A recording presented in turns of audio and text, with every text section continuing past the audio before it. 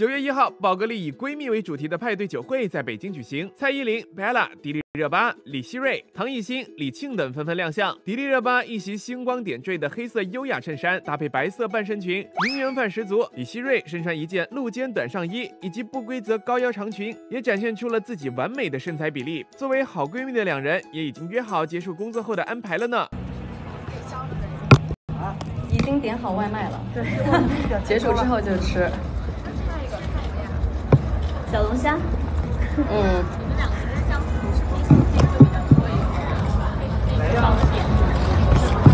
就是能吃又瘦，是我们黑对方的点。看着两位女神虽没吃货，但是身材依旧纤细，还真是让劳劳羡慕不已啊！此外，压轴出场的天后蔡依林和超模 Bella 这对闺蜜可谓是活动的一大亮点。两人都身着酷炫冷艳风格套装，看起来十分抢眼夺目。别看这两位女神才第二次见面，但两人十分投缘，感情真不是一般的好呀！我们就在聊说彼此的工作，他说他